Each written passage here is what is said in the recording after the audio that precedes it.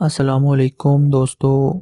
दोस्तों, आज का प्रपोज़ल है एक अड़तालीस साल ख़ातून का जो तलाक़ याफ़्ता ख़ातून हैं। सात साल हो गए हैं शोहर से लहदा हुए। एक बेटी, एक बेटा, दो बच्चे हैं, दोनों अपने बाप के पास रहते हैं।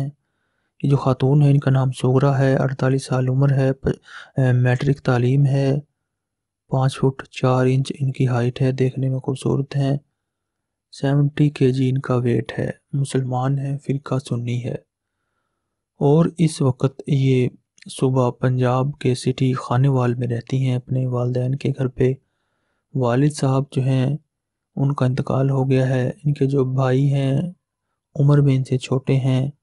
मोहम्मद अनवर साहब, उनका जो है हमसे रबता हुआ था। और वो चाहते हैं अपनी बहन की दोबारा से शादी करवाना।